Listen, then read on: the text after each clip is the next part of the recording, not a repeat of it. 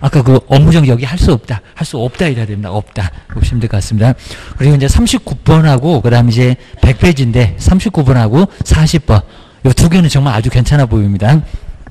먼저 39번에 외국인 취득 저렇게 한 문제가 꼭 나오고요. 어려울 때, 어려울 때 저렇게 나옵니다. 그리고 신고서 작성, 작성에 관한 내용들은 저렇게 어렵게 나올 때는 이렇게 딱 두 개 정도 나란히 나옵니다.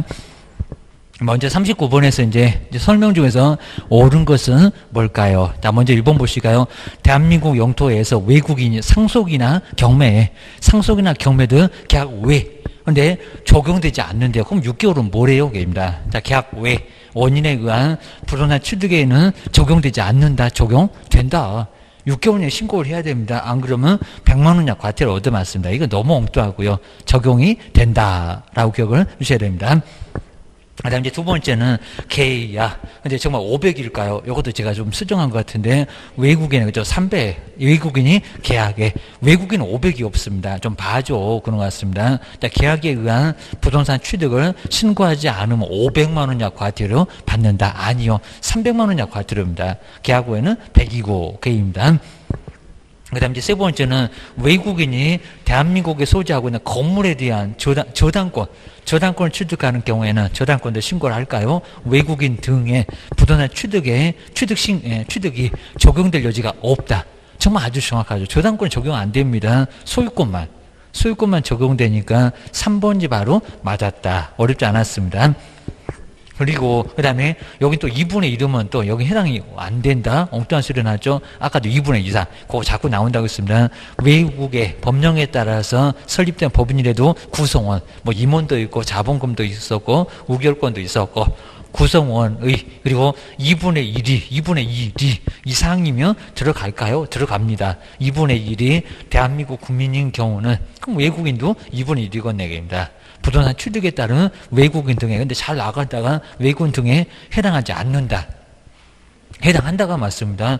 이상이면 딱 똑같아도 들어갑니다. 해당한다. 그래야 됩니다. 그다음 이제 5번에 보실까요? 전원이 뭐 이거 2분의 1도 전원이 외국인으로 구성돼. 그게 또 비법인 사단 이러놓으니까 헷갈렸습니다. 비법의 사단은 그냥 법인으로 봐도 되고요. 그리고 외국인 부동산 취득에 따른 외국인 등에 근데 해당하지 않는다. 해당한다.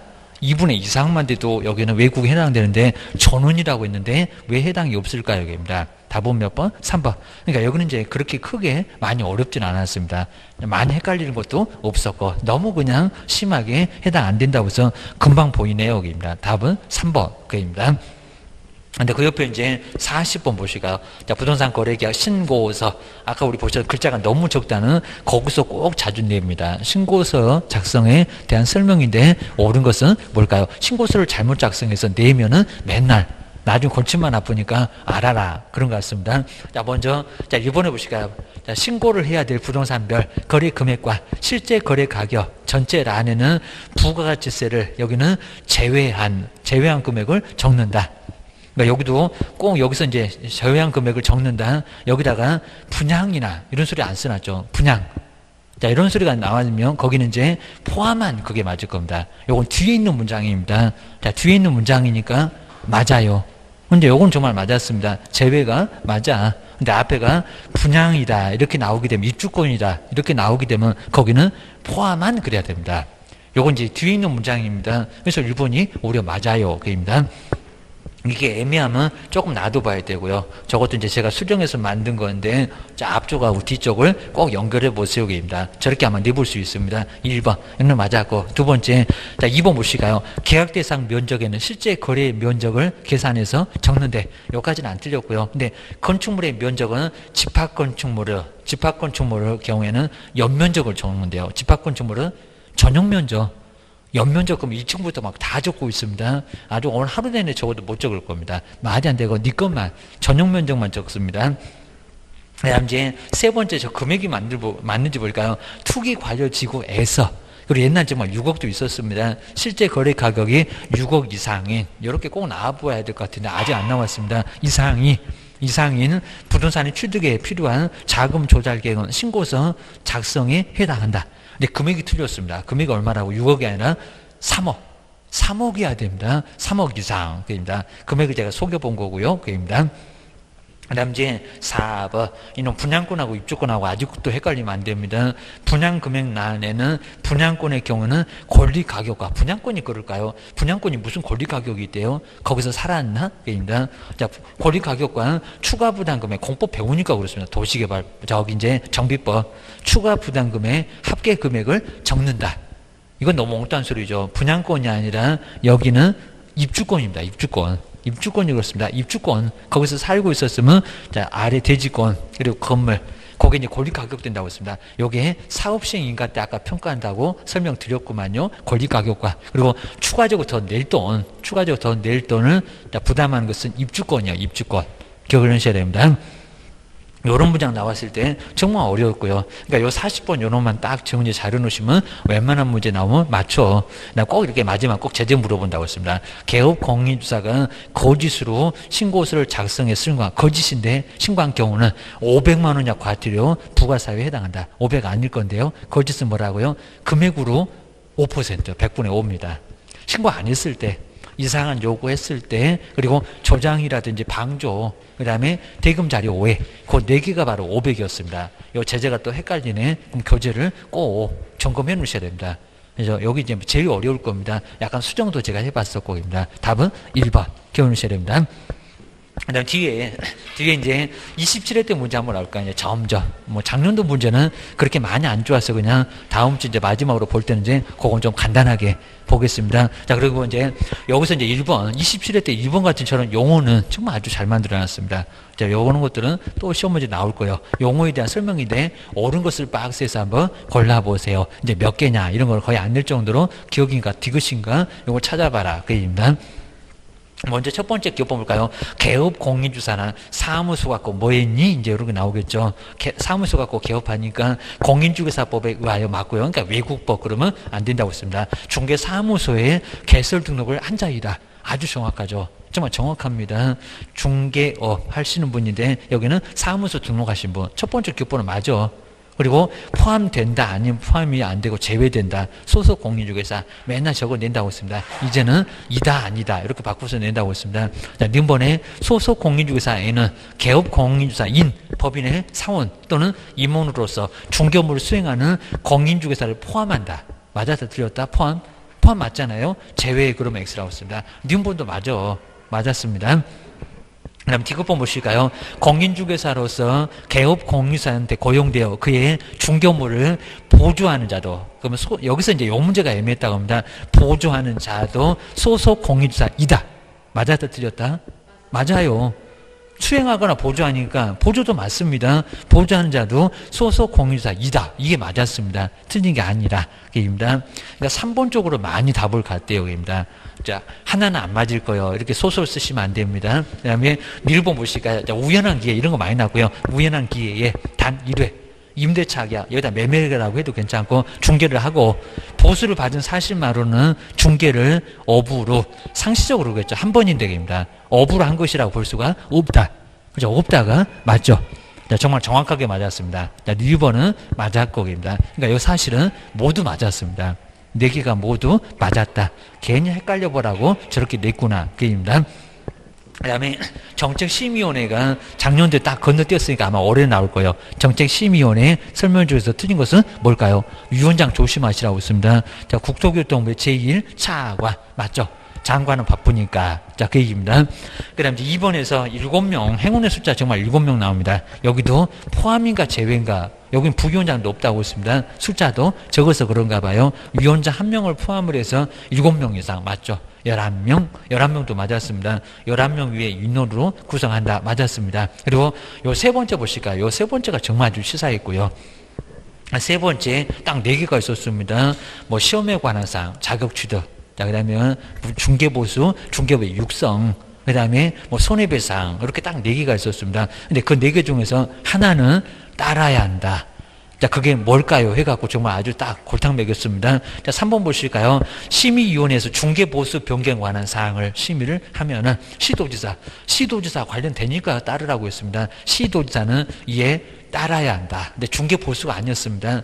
공인중개사, 시험 등 자격 취득이었습니다. 자격 취득. 왜냐하면 시도지사가 자격증 주니까 자격 취득에 관한 사항을 심의위원회가 결정하면 따라야 한다. 라고 해놨다는 겁니다. 저기 지금 박스에다가 넣어놨습니다.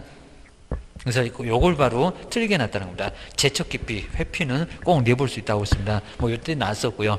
먼저 4번 심의위원회에서 그 위원이 해당 안건에 관해서 연구나 그리고 영역이나 그리고 감정을 하면은 너무 잘 알죠. 그입니다. 그러면 심의 의결에서 뭐 한다? 제척. 그러니까 여기다 깊이 그러면 안 되고 제척된다? 맞아. 그입니다. 배우자, 친족, 그 다음에 증언, 그리고 대리인 그 네 개는 제척된다고 합니다. 이런 거또 내볼 겁니다. 맞아요. 라고 4분도 맞았습니다. 그 다음에 5번 자, 부위원장 여기서 이제 부위원장이 정말 없습니다. 위원장이 부득이한 사유로 이런 걸 신경 안 쓰면 이렇게 나오겠잖아요. 수, 직무를 수행할 수 없을 때는 위원장이 미리 지명했던 정말 여기는 부위원장이 없습니다. 지명했던 그 위원이 그 직무를 대행한다. 맞아요. 답은 몇 번이다? 3번. 이렇게 답 찾기가 요놈도 상당히 어려웠었습니다. 기억을 주셔야 됩니다.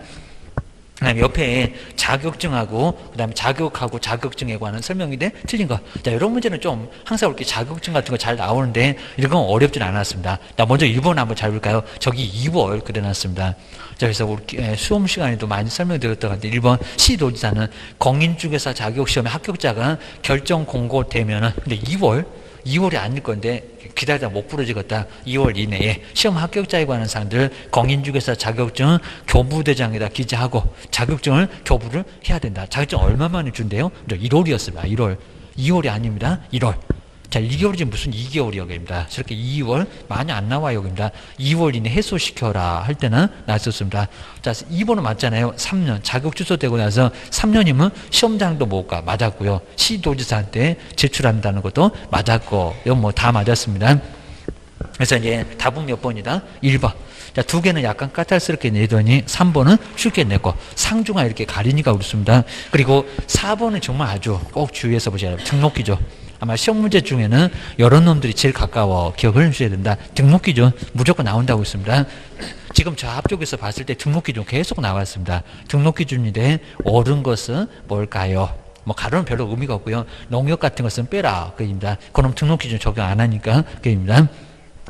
일본에서는 요 면적이 저거 있었대요 없었대요 해갖고 고민했대요. 또 선생님이 얘기 안 해줬다고. 자 100제곱미터 이상 거기 좀 헷갈려 봐라 그래놨습니다. 일본 볼까요? 건축물 대장에 기재된 건물에. 근데 100제곱미터 이상에 돈 없으면 제가 사무소도 못 차리겠네. 100제곱미터 이상이나 된대요 여기입니다. 엄청나게 큰데. 자 100제곱미터 어, 이상의 중개사무소를 확보할 거. 이런 말 됐나요? 그러니까 면적이 있냐고 입니다. 면적이 있다 없다? 없다.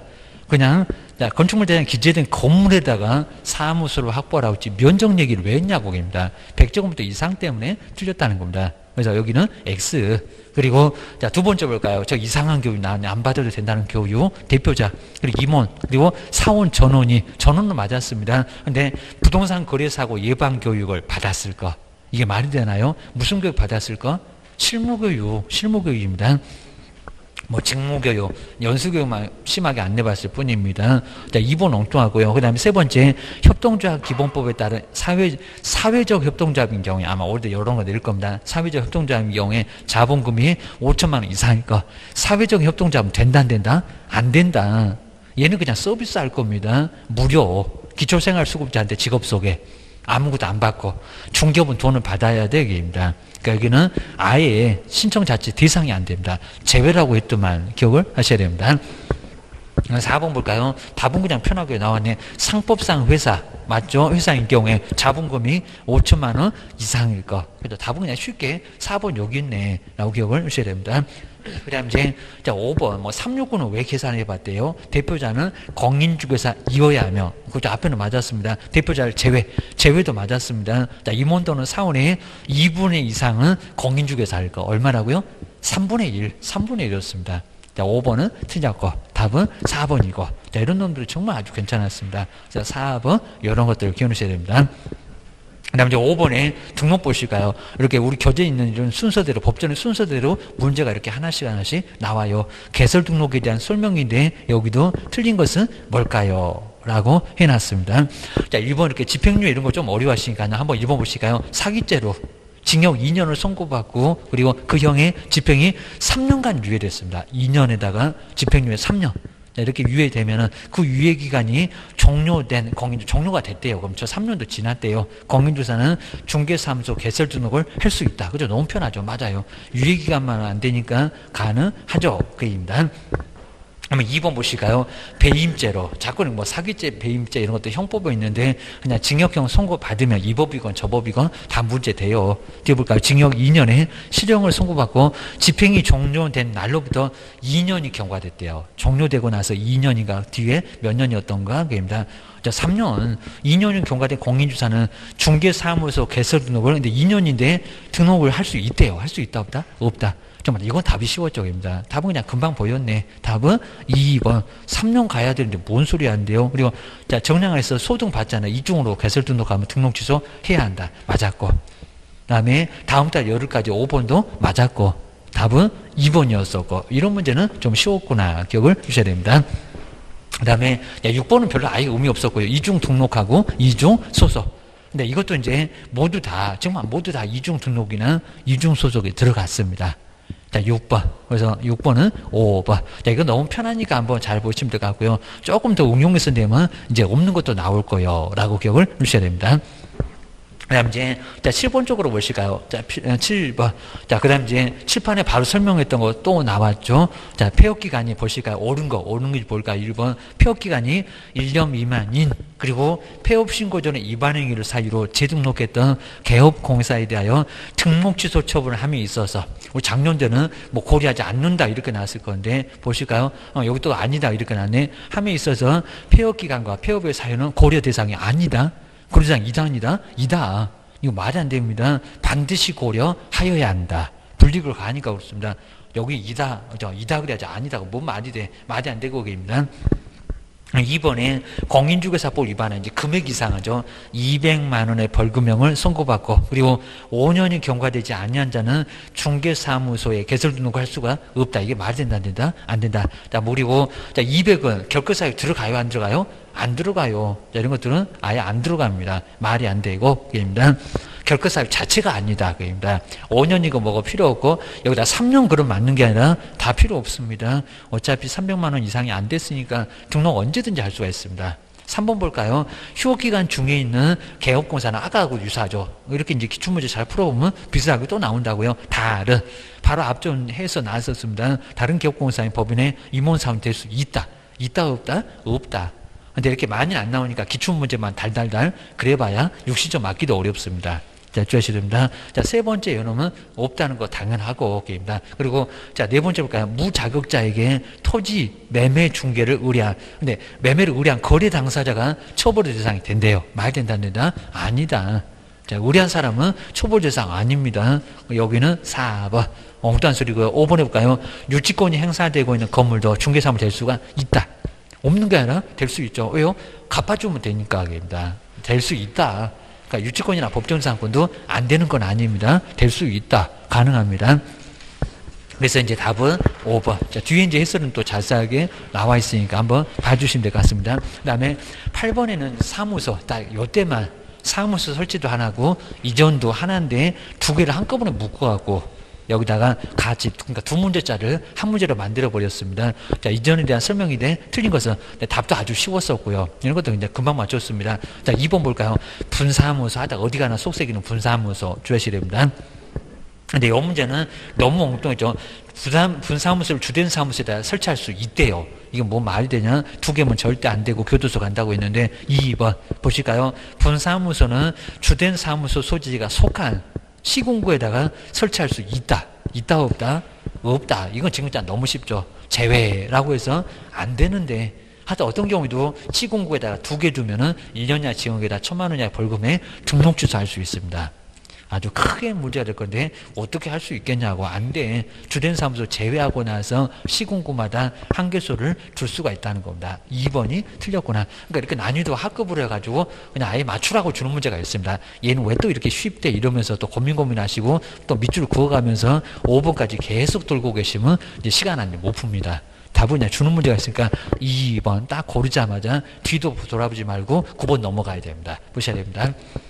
근데 시험장에서도 그게 잘 안 됩니다. 그 다음에, 자, 아홉 번째, 인장 등록에 대한 설명, 인장도 반드시 나오고요. 설명인데 틀린 것은 뭘까요? 업무 개시 전. 정확하죠. 업무 개시 전에 사용할 인장을 등록관청에다 등록을 해야 되고, 크기를 맞춰야 된다고 신고가 아니라 등록이다. 7회에서 30을 맞춰와라. 이런 소리 합니다. 그 다음 이제, 자, 2번 보시가, 요 2번 같은 문장 제일 많이 소개받습니다. 꼭 변경을 다 열을. 그래놨습니다. 도장판대 열심히 생각할 거니? 그입니다. 사무소 옮겼니? 그입니다. 소속 공인주사가 등록한 인장을 변경했을 때는 변경으로부터 7일 아주 정확하죠. 그 변경된 인장을 등록관청에 등록하는 것도 맞았고 7을 맞춰놓고 신고한다 해놓고 왜 틀렸느냐 그것도 내봤대요. 게임단. 요거 크기를 바꿔본 적도 있었는데 소속 공인주사 인장의 크기는 가로 세로가 7 맞죠? 행운의 숫자 7이고 30도 맞았습니다. 7을 10으로 30을 40으로 내본 적도 있었습니다. 오늘은 맞아. 게임입니다. 그 다음 이제 4번에 보실까요? 또 분사함수 나왔네. 아따 이런 분사함수는 어디가 나죠? 속색입니다. 간판. 그리고 서식에까지도 와서 속색입니다. 자, 법인의 분사, 개국공사의 분사무소에서 사용한 인장은 상업등기 규칙에 따라서 신고한 법인의 인장으로만 등록해야 된다. 말 된다 안 된다? 아니요. 대표자가 보증하는 인장을 사용할 수 있다 없다? 사용할 수 있다. 라고 해서 답은 몇 번이다? 4번. 4번이라고 해서 어렵지 않습니다. 그 정도 보고요. 자, 5번은 그냥 인감증명서 내는 걸로 가름한다. 좀 맞습니다. 이런 식으로 해서 이제 4번. 자, 뭐 8번이나 9번이나 난이도는 좀 쉬웠다. 그입니다. 그다음 중개 보존 보실까요? 중개 보존 밥상 세개 항상 나온다고 저번에도 잠깐 봤던 것 같고 중개 보존에 대한 설명이 돼 틀린 거 여기 이제 틀린 거니까 좀 간단하게 나올 수 있을 것 같습니다. 1번은 중개 보조는 아닌 자 그냥 용어정의 그대로 써놨죠. 그 다음에 단순한 업무를 현장 안내 옆에 일반 소문도 맞고 맨날 운전만 하고 커피만 타니까 맞고 단순한 업무를 보조하는 것도 맞았고 그러니까 뭐 1번은 아주 정확합니다. 그 다음에 2번 보시까 중개 보조 중개 보조는 고용 관계가 종료된 날로부터 또 숫자하고 지금 장난했죠. 일주일 일주일 만에 집 나간 며느리는 들어온다고 했는데 머리 긁고 그입니다. 7일 이내에 그리고 등록관청에다 그 사실을 신고를 해야 된다. 근데 7일 이내 아닌데 얼마라고요? 그죠? 열흘이었습니다. 열흘. 열심히, 그죠? 집 나가서 아주 열심히 생각한다고 했습니다. 그러니까 여기는 열흘 만에 들어온다고 했습니다. 열흘 이내 그래야 되나? 열흘 이내. 정말 일주일이 애매했습니다. 여기도 최근에 또 30일 이랬을 때는 아주 쉬웠고입니다. 7일 그럼 애매했는데 일주일. 아니라 열흘이 맞았습니다. 뭐 다른 건 맞잖아요. 중개 보존 당연히 커피 타니까 등록할 의무가 없고 받아주지도 않고 게입니다. 중개보조는 여기 이제 등록관청에 신고할 의무가 정말 있습니다. 소송만 그런 게 아니라 중개보조도 그 다음에 행위로 본다도 맞았고 게입니다. 저걸 추정한다. 이런 식으로도 내봤다. 또 모든 행위 이런 식으로도 내봤다. 업무상 행위 맞았습니다. 자, 그 정도에서 이제 한번 내보시고, 그리고 이제 아래쪽에다 또 정리 쭉 좀 해놨으니까 한번 간단해 보시고, 저렇게 열흘 이내, 제일 아래 저렇게 열흘 이내하고 다시 한번 조심하세요. 그리고 뒤로 넘겨보셔야 됩니다. 그 다음 이제 밥상 세 개, 민사, 그리고 형사, 그리고 행정책임. 요 하여튼 요 밥상 세 개도 저거 꼭 만들어서 한 문제가 반드시 나와요. 또 요즘에는 심하게는 안 내봤대요. 라고 기억을 하셔야 됩니다. 포인트 다 써놨으니까 한번 눈여겨보시면 될 것 같습니다. 하나 나와. 그입니다. 그리고 자, 열한 번째 명칭 보시가 사무소 간판은 설치할 의무가 있다 없다. 그리고 공인중개사 사무소 부동산 중개 여덟 글자 이름은 잘 보여라. 라는 거 이제 정해 놓으시고요. 그리고 제재는 과태료였습니다. 꼭 보셔야 됩니다. 그리고 근데 여기 이제 틀린 거네요. 아주 간단하네요. 사무소 명칭인데 설명 중에서 틀린 것은 뭘까요? 게입니다. 자, 그러면은, 자, 1번, 2번은 그냥 아주 간단하고요. 정말 설치할 의무 없다고 했습니다. 2번 맞잖아요. 오히려, 옥에 광고물을 설치할 의무를 부담하지 않는다. 오히려 설치할 의무가 부담해야 된다. 설치할 의무가 있다 그러면 오히려 있습니다. 간판은 설치 안 해도 돼. 그 개인 또 바람 불어갖고 거기에 맞아갖고 사람 돌아가시기도 하더라. 그입니다. 그 다음에 3번 보실까요? 개업 공인주사가 설치했던 5개 광고물 다 인식할 수 있는 크기에 근데 연락처를 아, 여기 좀 잘 보세요. 크기에 연락처를, 뭐, 그냥 전화번호 아주 대문짝만하게 써야 되나? 연락처를 표기하지 않으면 그 연락처가 이상하지 않아요? 그입니다. 자, 누구 이름 그러지 않았을까요? 않으면 100만 원이나 과태료 부과 대상이 된다. 지금 싹 바꿔놨다는 겁니다. 연락처가 아니라 뭐라고요? 성명을 성명을 입니다. 차라리 문자 그랬으면 헷갈렸을 건데 연락처 그래 놓으니까 금방 눈에 띕니다. 먹은 전화번호를 아주 대문짝만하게 쓰라고 저런데요. 말이 안 되지입니다. 이름을 적게 쓰려고 바라가니까 이름 잘 보여라 그 소리였습니다. 나머지 뭐 4번이나 5번은 너무 간단했고요. 저런 문제도 나름대로는 싹 바꿔갖고, 자, 여기도 좀 괜찮았을 겁니다. 3번이 틀렸고, 그 다음에 12번째 볼까? 또 휴업하고 폐업 반드시 나오죠. 아, 그래서 이제 아까 앞에서 봤던 문제가 조금 더 괜찮았던 휴업하고 폐업인데 틀린 거. 그리고 1번 보실까요? 2개월에, 요걸 이제 신고한다고 자꾸 그랬습니다. 2개월에 휴업을 할 경우는 신고할 의무가 없다. 맞죠? 3개월, 딱 3개월 되면 있을 건데, 3개월 초과했을 때 신고 하니까 안 하는 거 맞잖아요. 그럼 이제 4번 쪽으로 한번 내려볼까? 4번. 저 간판을 정말 1개월 만에 뜯어낸데 이미 뜯어지고 없을 건데 게입니다. 등록관청에 폐업 사실 폐업 맞았습니다. 신고하면은 1개월 이내 간판을 철거해야 된다. 얼마 만에 철거한대요? 지체 없이 꾸물거리면 안 된다는 겁니다. 2, 3일입니다. 여기다 정말 열흘, 7일 그랬어도 조금 더 안 헷갈렸을 건데 1개월. 아이 그냥 문제 좋네 그입니다. 1개월 이내에 누가 간판 뜯어내라고 그랬어 그입니다. 이거 말이 안 됩니다. 그래서 이제 4번이 바로 틀렸고 이제 뒤로 넘겨보실까요? 저 정도는 좀 쉽구나 하는 것들은 조금 보시면 될 것 같습니다. 또 휴업부터 변경하고 재개 한 문제가 나옵니다. 그리고 영업 때려치우는 폐업, 전자문서 된다 안 된다, 등록증 첨부한다 안 한다 이런 거 위주로 잘 보셔야 됩니다. 내용 문제 크게 많지는 않는데 뭐 반, 반드시 나오니까 조심하셔야 됩니다. 그리고 이제 13번째는 전속중개계약은 정말 잘 나왔어요. 111페이지에 전속중개계약. 이거 설명인데 옳은 것을 박스에서 모두 골라보세요. 게임입니다. 먼저 첫 번째 전속은 정말 특정이 맞죠. 다수 그러면 일반이라고 했습니다. 특정한 개업공사를 정해서 이제 그러니까 옆집가면 안 되고 자 그랬습니다. 정해서 그리고 그 개업공사에 한해서만 여러 집을 안 가기로 하고 중개를 하도록 하는 계약이 전속 중개 계약이다. 아주 그냥 정확하게 설명해 놨죠. 어렵지도 않았고.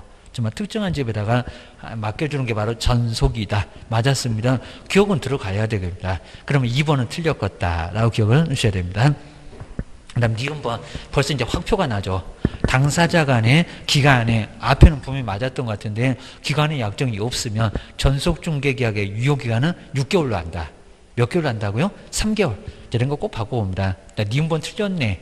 그러면 3번, 5번 벌써 답이 나오지 않았나요? 3번, 5번 틀렸네. 아, 니은 봐야 되겠네. 바로 이제 틀렸네. 입니다. 그 다음 이제, 자, 디귿번 보실까요? 자, 2주마다 한 번 맞을 것 같네요. 개업공사는 중개를 하는데 전속 중개계약 체결 한 후, 맞죠? 2주 잊어먹을 만하면 한번 이상은 중개 업무 처리 상황을 문서로서 통지해야 된다. 맞았죠?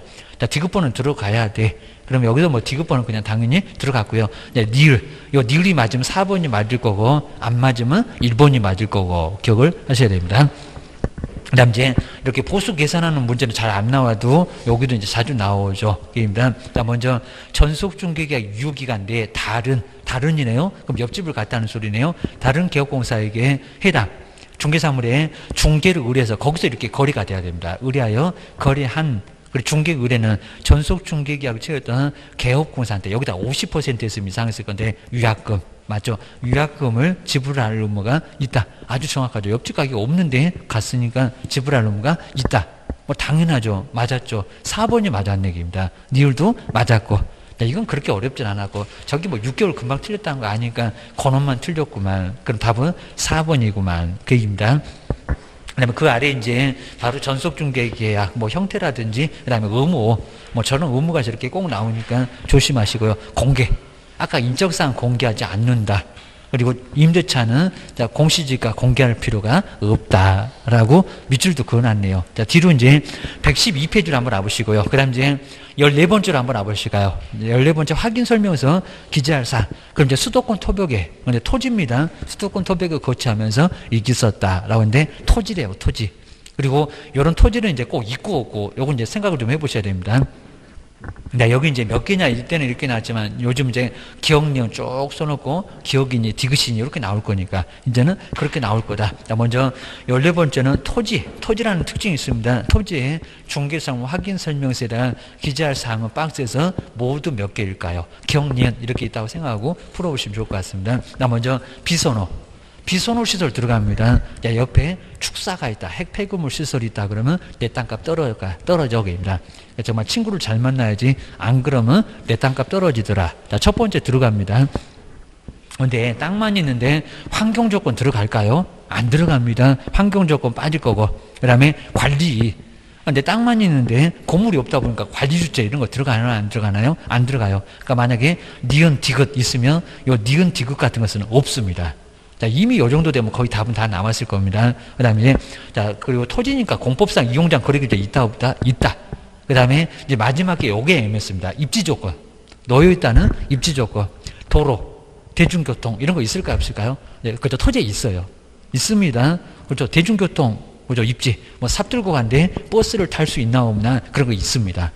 그러니까 토지에도 두 개는 나옵니다. 두 개는. 그러니까 입지 조건이 약간 애매하긴 했는데 연놈도 들어가요. 들어갑니다. 그러니까 이제 환경 조건하고 관리가 없다. 그러면 세 개다라고 기억을 해주셔야 됩니다. 이런 놈들이 조금 어려우니까 나중에 확인 설명서 이제 다음 주에는 확인 설명서 서식을 볼 건데 꼭 응용해서 나와. 그다음에 열다섯 번째 이제 거리계약서 정말 나오죠. 거리계약서 작성인데 설명 주서 옳은 거. 우리 앞쪽에도 비슷하게 나왔었던 거 이제 요대로 또 나왔죠. 옳은 거. 뭐 이런 문제 정말 괜찮습니다. 그러니까 한두 개 잘 풀어 보시면 많이 거기 안에 문제가 다 있으니까 웬만한 문제 다 풀 수가 있습니다. 자, 1번 볼까요? 또 국장이 뭐 서식이 있다고 저렇게 또 우기나 국토교통부 장관이 지정한 표준 거래계약서, 양식 거래계약서가 있냐고 양식으로 매도 매수인 줄 거구만. 계약서를 작성을 해야 한다. 맞았다 틀렸다? 틀렸다. 거래계약서는 소식이 없다. 확인 설명서하고 전속 중개 계약서가 그러더라. 그 얘기입니다. 1번 이제 금방 알 것 같고요. 근데 거래계약서가 또 5, 3년이래. 작성된 거래계약서는 거래 당사자한테 교부하고 3년간, 근데 거래계약서인데 3년간 보존을 해야 된다. 몇 년 보존한대요? 5년. 설식도 없는 것이 돈 있다고 제일 길어. 해가지고 연원만 5년이었습니다. 전속중개계약서 확인 설명서가 3년이었죠. 주의를 하셔야 됩니다. 근데 세 번째 또 제재 갖고 이제 12겁니다. 보실까요?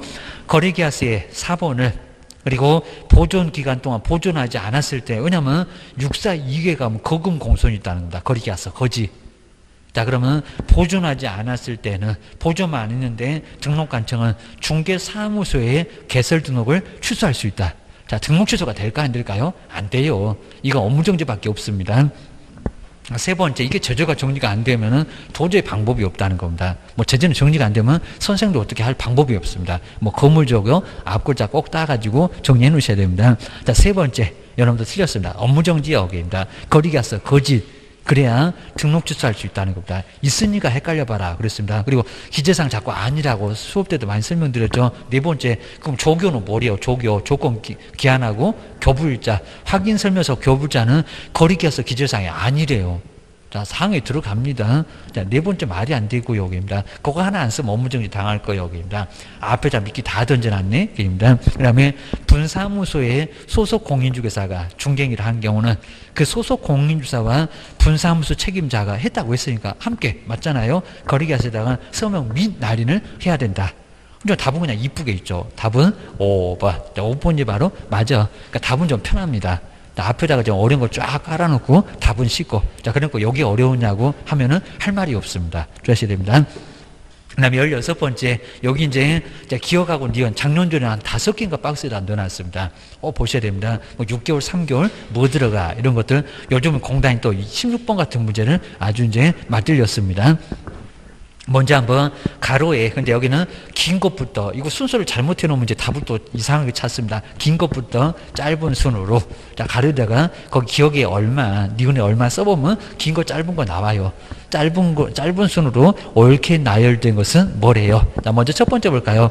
자 공인중개사 자격 취소 처분을 받아서 자격 취소 반납하고자 동네방네 취소했다고 알리고 갖다가 내야 되고 그 처분을 받은 날로부터 며칠 이내 반납을 해야 한대요. 며칠? 7일. 그죠? 일주일. 그러면 기억 옆에다가 7일 이렇게 써놓으면 될 거고요. 자, 7일. 자, 기억이 7일이다. 그 다음에 두 번째 보실까요? 그정보 사업자로, 그정보 사업자로 엄청 다 길었죠. 지정소도 30일이요. 운영규정은 몇 개월이요? 입니다 자, 그정보 사업자로 지정받은 자는 지정받은 날부터 얼마 이내 망의 이용, 그리고 정보 제공 등에 관한 운영 규정. 자, 운영 규정 얼마래요? 3월. 그죠? 망설지가 1년이었고 3월. 그럼 니은번에는 3월이라고 써 놓으세요. 기억하셔야 됩니다. 빨간색으로 잘 보이게 써놓으시고 그입니다. 그다음에 자 세 번째 볼까요? 그다음에 요거 맞들렸다고 지금 계속 나온다고 했습니다. 개업 공인주사가 보증보험 그리고 공제금 앞전에도 나왔었잖아요. 공탁금으로 아까는 열흘이라고 했었나요? 손해배상을 한때는 며칠 이내에 며칠 이내에 여기다 열을 그래도 맞추기는 맞추겠네.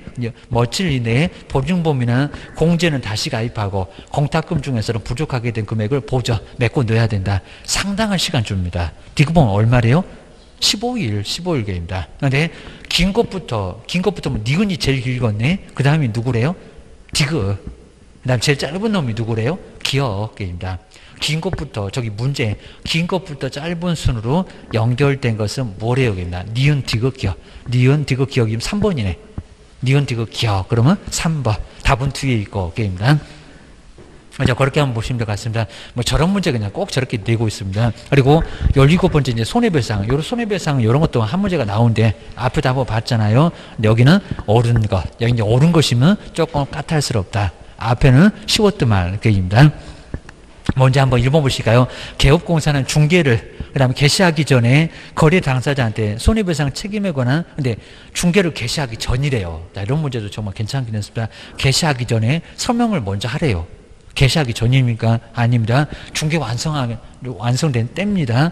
중개를 개시하기 전 여기 잘못됐습니다. 중개 개시하기 전이면 업무 개시 전이니까 보증 설정이나 해라 그럽니다. 설명은 아닙니다. 그래서 이제 1번은 중개 완성 때입니다. 1번 이런 거 잘 보셔야 됩니다.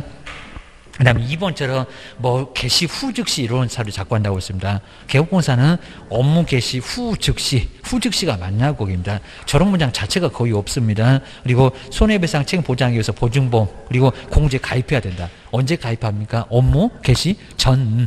전하고 후, 후 즉시도 아예 틀립니다. 업무 개시 전. 먼저입니다. 먼저. 이거 뭐 말도 안 되는 소리니까 후 즉시 거기가 잘못됐습니다. 그 다음에 세 번째 너무 엉뚱하고요. 개업공사가 중개행위를 함에 있어서는 거래 당사자한테 손을 입히면 고의과실에 관계없이 천재지변도 책임져라 차라리 죽으라고 해라 입니다. 그 손해를 배상해야 된다. 아닙니다. 고의과실이 있으면 그랬습니다. 있으면 이거 말이 안 되니까 3번은 틀렸고 입니다. 그리고 저가 또 5년이 이상 하잖아요. 안날에 몇 년하고 비슷한 것 같다고 했는데 개업공사가 폐업을 했습니다. 돈 자랑하다. 폐업한 날로부터 5년 이내에 손해배상 책임을 보장하기 위해서 공탁만 그렇다고 했어요. 공탁한 공탁금을 회수할 수 없다. 5년 아닌데요. 얼마라고요?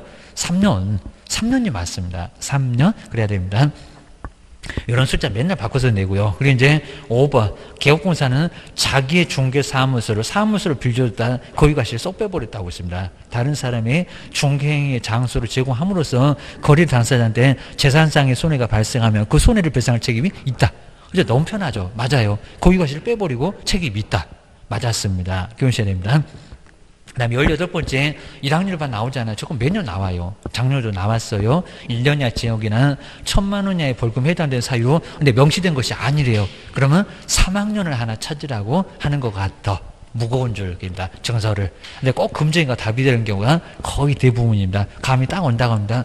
양도 들어가네요. 양도, 양도나 대여나 일본, 일본 나란히 양도, 등록증 자격증 들어가요. 그 다음에 사무소에서 받네. 이중으로 중개사무소 개설 등을 했을 때 맞잖아요. 직접거래 쌍방들이 몇 학년이다. 답 나왔네. 4번. 직접거래 3학년. 이거 뭐 알면 금방 풀어요, 여기입니다. 이거 한 5초면 딱 끝납니다. 임시중개 시설물을 설치했을 때 사무소 1학년 맞아요, 여기입니다. 답은 몇 번? 4번. 이렇게 아주 간단합니다. 그 다음 이제 19번째, 우리 작년도 문제하고 비슷하네요. 작년도 문제도 요거하고 비슷하게 나왔어요. 과태료 부과 사유에 대한 부가 징수권자가 틀린 것은 자, 먼저 첫 번째 볼까요? 등록증 개시. 등록증 누가 주더라? 등록관청. 맞죠? 개시할 때는 100만 원 이상 과태료, 등록관청이 때려요. 맞아요, 입니다. 그리고 이것도 앞에 있었을 겁니다. 이전, 이전도 등록관청 맞았습니다. 명칭, 그죠? 당연히 명칭도 등록관청. 자, 이때가 조금 더 쉬웠네요. 작년도가 그래도 조금 약간 어려웠네. 게입니다. 근데 4번에 볼까요? 거리 당사자한테 손해배상 책임의 보장에 관한 사항을 설명하지 않았는데 시도지사래요. 뭐 자격증 주신 분이 왜 또 무슨 과태료 처분한대요? 아니죠. 시도사는 연수 교육하고 자격증 두 개입니다. 그러니까 여기가 답이 4번. 답이 아주 쉬웠고요. 그리고 사업자고 협회는 국장입니다. 정보 제공 등에 관한 운영 규정을 위반해서 망을 운영했을 때 사업자네요. 사업자 협회 맞아. 사업자고 협회는 국장 맞았습니다. 답은 몇 번이다? 4번. 이렇게 이제 알면은 금방 풀려 게임입니다. 그 다음 이제 뒤로 한번 넘겨보실까요? 그 다음 이제 20번에서 교육, 교육 또 나왔죠. 하지만 앞에 있는 교육하고 요놈하고 잘 연결하게 되면 웬만한 교육 문제 다 맞출 겁니다. 작년도 문제도 괜찮았고 게임입니다. 자 먼저 자 20번에서 이제 교육인데 설문조사 옳은 거 1번 보실까요? 분사무소 책임자가 분사무소 책임자인데 연수에 되고자 하면은 아까도 욕한다고 하더니 공인중개사는 고용신고전 이전 이내 시도지사가 실시하는 연수 교육을 받아야 한다. 아까 책임자가 되고자 하는 무슨 교육이라고 연수가 아니라 실무 실무 그래야 됩니다. 그다음 이제 2번 보실까요? 폐업 신고 후 2년 이내에 중개사 2년 이내라고 했는데 개설 등록을 다시 신청, 하려는 공인중개사는 그럼 실무급 받아야 합니까? 실무급 받지 않아도 된다. 아주 정확하죠. 맞았네. 여기 있네 개입니다. 그래서 맞았고요. 그리고 세 번째 보실까요? 앞전에 나왔던 문제하고 요거 1번, 2번 비슷했네요. 이제 3번부터 완전히 다르네. 시도사는 연수교육을 실시를 할 경우는 실무교육, 연수교육 받은 후 2년마다 2년은 맞았죠. 안심하지 마시고 또 답이 여기 있네. 바꾸시면 안 됩니다. 그리고 1개월 전까지 여기서 역으로 끝나는데 저게 1개월이냐? 1개월 아니라 2개월. 금방 이상하다는 거 보이잖아요. 연수교육 일시 뒤에는 맞아. 당사자한테 통보한데 1개월이 아니라 2개월이지. 그입니다. 틀렸고 그입니다. 시간은 매년 낸다고 했습니다. 연수교육의 교육시간은 3시간 이상에서 오전에 잠깐 졸다가 보면 끝나요. 연수가 아닌데 이틀인데 입니다 3시간 이상에서 4시간 또 틀렸죠. 그건 직무교육이요. 커피 타는 교육이요. 12에서 16입니다. 뭐 뻔히 알 겁니다. 그 다음 이제 5번에 고용관계 종료 신고 후 1년 이내에 고용신고를 다시 하려는 1년 이내라고 했는데요. 중개보전도 직무를 받아야 한다. 받는다 안 받는다? 안 받아 게입니다. 커피 타는 거 다 아는데 받기를 뭘 받아 게입니다. 1년 이내니까 안 받아도 돼. 뭐 이런 문제가 꼭 나온다는 겁니다. 앞에하고 거의 유사하죠. 이렇게 나온다고요. 기억을 하셔야 됩니다. 다음에 협회 협회도 한번 잘 볼까요? 협회도 요 문제 정말 괜찮았고요. 옆에 있는 포상금까지 해가지고 아주 괜찮았습니다. 자, 그 해마다 이렇게 좋은 문제가 있었습니다. 협회인데 설명조에서 옳은 것은 박스에서 뭘까요? 아마 협회도 이런 문제가 올해의 문제에 좀 가깝습니다. 보시셔야 됩니다. 저걸 총회 의결 내용을 꼭 7일 이내에 자꾸 그랬었는데 보실까요? 기업바 협회는 총회 의결 내용을 국장이 엄청 궁금해 지체 없이 맞았습니다. 국토교통부장한테 보고를 해야 된다. 맞아요. 여기다 뭐 7일 해갖고 많이 내봤는데 지체 없이 맞았습니다. 2, 3일. 그러니까 궁금하니까 빨리 알려줘라. 맞아요. 그 다음에 자 님본 보실까요? 협회가 지회, 지회라고 있습니다. 지부집에 자꾸 물어본다고 했습니다. 당신 단체 지부집에도 못 찾니? 그런다고 했습니다. 지회를 설치를 하면은 부도났다네. 제가 그런 것 같은데 시도지사한테 신고를 해야 된다. 시도지사가 퍽이나 좋아하겠다 하겠다. 시도지사가 어디래요? 지회니까 등록관청 시군구입니다. 등록관청한테 신고한대요. 입니다. 니뭐 틀렸어. 기억을 하셔야 됩니다. 그러면 3번, 5번 틀렸네. 자, 1번, 2번, 4번 중에서 답이겠네. 그 얘기입니다. 그 다음에, 자, 디귿번 보실까요? 이렇게 연임할 수 있다, 없다. 내봤다고 했잖아요. 공제사업의 운영위원회, 위원의 임기는 2년, 2년을 맞았습니다. 근데 2년인데 연임할 수 없대요. 있다, 없다? 있다. 네, 있긴 있는데 한 번에 한해서 연임할 수가 있습니다. 그냥 있다 그래도 틀리다고 했습니다. 1회에 하나여 연임할 수 있다는 겁니다. 이런 문제 또 낼 겁니다. 디귿번도 틀려. 게임입니다. 그 다음 이제 일본의 금융기관에서 우리 박스에 있었을 건데 금융기관에서 임원 이상의 현직에 있는 사람은 공인, 예, 공제사업의 운영위원회 회원이 될 수 없다? 있다. 들어갔습니다. 19명에 들어가요. 입니다. 자, 1번도 X 이미 답은 나왔으니까 답은 1번. 하나밖에 안 맞았습니다. 아래는 줄줄이 틀렸네. 라고 기억을 주셔야 됩니다. 그 다음에 22번에 요거 포상금을 정말 꼭 한번 조심하셔야 돼요. 포상금. 아마 이런 형태가 반드시 꼭 나올 겁니다. 포상금. 자, 먼저, 자, 을, 갚아하고 을이 받을 수 있는 포상금은 얼마가 될까요? 좀 오래 나올 거라고 생각하셔야 됩니다. 자, 먼저, 자, 첫 번째 우리 갑은 볼까? 갑은 중개사무소를 부정한 방법으로 개설 등록한, 나오겠죠? 그러니까 지금까지는 포상금 나오는 것만 쭉 일단 계산해 보라고 나오긴 나왔습니다. 안 나온 것도 나올 수가 있어. 근데 A와 B를 각각 고발. 그럼 A 옆에다가도 50 써놓고 B 옆에다가도 50을 써놓고 각각 고발했는데 검사가 조건 충족을 했는지 봐야 됩니다. 검사가 A는 공소 제기 하였고 나와야 안 나와요? 나와요. 근데 B는 무혐의래요. 혐의가 아예 없대요. 그럼 부정한 방법이 아니래요. 포상금 나올까 안 나올까요? 안 나와. 가지도 안 오게입니다. 속된 말로 꽝도 있습니다.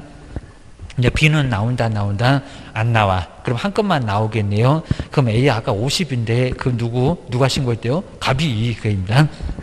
그럼 저기 앞에 있는 감 옆에다가 50을 얼른 좀 써놓으세요. 이거 어떻게 풀어야 되겠다 계산해 보셔야 됩니다. 그다음 이제 두 번째 볼까요? 을은 중개사무소를 또 부정한 방법 나와. 개설 등록했던 C를 그럼 C 옆에다 50이라고 써놓을까요? 일단 50 신고 대상은 됐다고. 그다음 옆에 C는 형사재판에서 무죄 판결을 이제 무혐의하고 엄청 헷갈리지 무죄 판결을 받았다. 무죄 무죄 나온대요 안 나온대요? 나와. 갔으니까 가면 그냥 무조건 나옵니다. 유죄 무죄 안 가려. 안 가니까 무혐의는 안 나왔는데 무죄는 나온다고요. 계산해야 된다고요. 그러면 C로 나오네. 그걸 누가 신고했대요? 우리 그러면 또 옆에다 50을 써놓으세요. 둘 사이 좋네. 값도 50, 을도 50. 그입니다. 그다음에 세 번째 볼까요? 자, 세 번째는 자꾸 이제 갑하고 을하고 자꾸 같이 다니다 보니까 눈이 맞아갖고 너도 그거에 나도 이거에 같이 해 해갖고 같이 합니다. 자, 다음 날부터 이제 둘이 손잡고 다닙니다. 갑과 을은 포상금 배분에 관해서 합의가 없었고요. 중개사람도 등록증을 대여한 누구 D 대여도 나오니까 D 옆에다 50을 써놓으세요. 저 공동 안 써줘도 되는데 손잡고 다니까 공동으로 고발해서 D가 기소유예 처분을 받았대요. 포상금 나와 안 나와? 나와 기소유예 잠시 소를 보류, 보류시키는 거니까 나와요. 그러니까 무혐의가 안 나온다. 불기소가 안 나온다. 불기소. 나와요. 요거 나옵니다. 그래서 나오니까 그럼 얼마 나온대요? D가 50이라고 했는데 공동. 그럼 얼마라고요? 감 25. 을 얼마?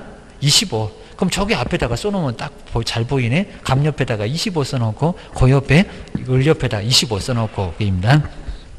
그 다음 이제 네 번째 볼까요? 중개사무소 개설 등록을 하지 않고 하지 않고 무등록 나오죠. 중개하고 있는 일을 그럼 이 옆에다가 50을 먼저 써놓을까요? 근데 잘 보셔야 됩니다. 의리 슬라이딩 하신 분이 계셨습니다. 9시 되자마자 텐트 치고 주무셨다고요. 지금 이제 주무실만 할 겁니다. 의리 신관 이후에 갑도 쟤는 또 갑은 6시 되자마자 이제 6시 되니까 이제 눈곱도 안 떼갖고 이제 등장했습니다. 머리는 귀신 머리 해갖고 갑도 이를 신고했는데 이는 형사재판에서 아주 유죄 판결을 받았대요. 나왔나요? 나와요. 근데 여기는 어떻게 나올까요? 걔는 또을 옆에다가 25, 감 옆에다 25 써놓으면 안 됩니다. 누가 받아요? 몰빵. 누구요? 을. 을이 받습니다. 을. 이, 여기다 이제 50 써놓으셔야 된다. 몰빵 몰아주니까. 그러면 아까 75, 75까지 똑같았습니다. 네, 누구만 50을 더 받았네? 누구요? 을. 그럼 을이 얼마입니까? 을 125. 답은 몇 번이다? 3번이다. 자, 이런 문제 아주 정말 괜찮게 만들어 놨어요. 출제원들이 저것들이 그냥 제일 생각해 갖고 이것들을 어떻게 떨어뜨릴까 해 갖고 만들어 문제가 요거래요. 기억을 주셔야 됩니다. 그다음 뒤쪽에 23번, 24번 요 두 개만 거기 조금 복잡하니까 다음 주에 그냥 후다닥 넘어갈 수 있을 것 같은데 요놈만 한번 풀어보면 될 것 같습니다. 자 먼저 23번 요 자격정지 이게 상당히 좀 어려웠습니다. 자격정지에 대한 설명이 돼 옳은 것은 뭘까요? 자 그입니다. 자 먼저 첫 번째 거리계약서에다 서명 민 날인하지 않았을 때는 또 여기도 이제 제재 갖고 물어보죠. 그럴 때는 자격정지 사유에 해당한다. 그냥 답은 또 쉽게 나왔네. 그죠? 거래, 확인 거래. 소인들은 확인 거래 하는 거 금지다. 그리고 이름 쓰고 도장 꽝은 맞습니다. 자격정지 맞아요. 이게 애매하면 또 보시면 되겠죠? 게입니다. 근데 2번 보실까요? 종계대상물 확인 설명서를 교부 이제 나왔죠 교부 지금 소속 소속인데 자격정지인데 교부하지 않 구경도 못하는데 교부하지 않는 경우는 자격정지사에 해당한다 또 답 여기 있다고 또 답을 바꾸시네 아니죠 교부는 제재가 있어요, 없어요? 없어요. 우리 작성교부 보존은 제재가 없다고 거기다 X 써놨는데요. 제재가 없다고요. 소속이니까. 전속한테만. 그리고 또 3번도 볼까요? 이 문제 의외로 잘 만들어놨습니다. 전속중개계약서 의하지 않고 전속중개계약을 체결한 경우는 자격정지 사유에 해당 안 돼요. 개인 또 여기도 답이 있다고 이제 답이 서로 손들고 난리가 났습니다. 세 개가 막 다 답이라고 하면 큰일 나요. 전속중개 계약서 자체는 소소가 관련 자체가 없습니다. 거긴 세명할 때 거기 나옵니까? 소인들은 할 때 안 나와요. 전속중개 계약서는 개업만 개업만 업무정지 당할 수가 있습니다. 아예 쓰지도 아예 않는 게 바로 저 전속중개 계약서입니다. 소속은 그입니다. 그 다음 이제 자, 네 번째 볼까요? 시장 군수 구청장 여기 앞에를 지금 잘 보셔야 됩니다. 공인중개사 자격정지 사유 발생 시 근데 6개월의 범위 안에서 그 기간을 정하여 그 자격을 정지할 수 있다. 이거 정말 너무 엉뚱하다는 게 자격정지 누가 할까요? 자격증 누가 줬을까요? 시장군수 구청장이 아니라 시 도지사. 이런 문제 자주 낸다고 했습니다. 시 도지사가 시 도지사가 자격정지 할 수 있지 뭔 소리 한대요? 시장군수 구청장 너는 업무정지나 해라 그럽니다. 자격정지는 시 도지사입니다. 앞에가 틀렸네요. 기억을 하셔야 됩니다. 그 다음 이제 5번에 보실까요? 자격정지 기간은 2분의 1 범위 안에서 가중 감경할 수 있으면 틀렸다는 거 아니고요. 근데 가중에서 처분할 때는 9개월로 할 수 있대요. 9개월 할 수 있다 없다? 안 된다. 6개월 초과할 수 있다 없다? 없다. 자, 이건 너무 엉뚱해서 답은 바로 자, 1번. 괜히 또 2번, 3번도 막 다 맞을 것 같은데 1번만 맞아요. 1번만 맞아. 요것도 잘 생각하셔야 됩니다. 그리고 이제 자 24번에 최근 시리즈 나왔다고 했잖아. 최근. 자, 최근 시리즈. 그래서 이제 자 먼저 절대적에서는 저 거기 오른쪽 박스를 119페이지 보니까 세 번 업무 정지만 가지고 세 번. 그때 절대적. 정량줄에서 업무 정지만 갖고 세 번이라고 했습니다. 근데 나 상대적에서는 이제 업무정지 정말 네 번은 그렇게 갈 수도 없다고 했습니다. 세 번이면 절대적인데 네 번은 어떻게 가? 그리고 얘는 족보가 따로 있다고 했습니다. 문의만 네 번이고 업무정지 세 번. 정량줄이 아까 세 번 있었잖아요. 저기 절대적. 그러니까 절대적 등록주소로 가고 저 박스 이제 바로 여기 보면 나와 있습니다. 그리고 업무 정지가 이제 두 번부터 저렇게 딱 세 가지밖에 안 된다고 합니다. 칠판에다가 제가 비슷하게도 썼잖아요. 그다음 과태 두 번. 그리고 업무 정지 한 번. 과태료는 세 번, 업무정지를 없어도 괜찮아. 과태료만 갖고 네 번. 요 세 가지가 정말 등록 취소할 수 있다. 그리고 자 업무정지에서는 업무정지와 과태료 섞어서 세 번. 업무정지만 갖고 세 번은 절대적이요. 같은 세 번이라도 달러 보셔야 됩니다. 아마 이런 최근 시리즈가 또 나올 가능성이 큽니다. 이제 마지막으로 24번 보실까요? 개설 등록을 취소하여야 하여야 하는 경우를 박스에서 모두 골라서 하여야 그랬습니다. 그럼 업무 정지만 갖고 세번 대라. 이런 소리입니다. 자, 먼저 기업번 볼까요? 최근 1년 이내 공인주사법에 의하여 2회 이상 업무정지 처분을 받고 다시 업무정지 처분 아주 정확하죠. 업무정지만 갖고 저세 번 들어가. 기업번은 들어가야 됩니다. 그럼 기업번 있는 놈이 답인가 봐. 3번, 4번은 아닌가 봐. 정말 그렇습니다. 그 다음 이제 님뭐 볼까요? 최근 1년 이내 공인주사법에 의해서 1회 업무정지 그리고 2회 과태료 처분을 받고 그리고 또 다시 그러니까 업무정지만 갖고 지금 두 번입니다. 그리고 과태료 두 번. 네 번이면 어디 들어갈까요? 요족보가 상대죠. 상대적에 들어갑니다. 업무정지만 갖고 세 번이라니까요. 두 번. 업무정지 두 번, 과태료 두 번이면 육사예요. 육사. 등록 취소 할 수가 있습니다. 님번은 들어가면 안 돼. 기억하셔야 됩니다. 나 그러면 또 5번은 답이 아니겠다. 그럼 1번하고 2번 중에서 답인가 봐. 디귿이 맞으면 2번이고 디귿이 틀리면 1번이고 게임입니다. 디귿번 보실까요? 최근 1년 이내 공인수사법에 의해서 두 번 이상 업무정지 이거 잘 써봐야 됩니다. 업무정지 두 번. 그리고 1회 과태료 처분받고 지금 1회 과태료 속였어요. 과태료 처분을 받고 다시 또 업무정지래. 그럼 업무정지 총다 해서 몇 번입니까? 세 번. 업무정지 세 번이면 절대적 맞아요, 안 맞아요? 맞아요. 여기입니다. 무늬만 네 번처럼 보이는데 저기 있잖아요, 여기입니다.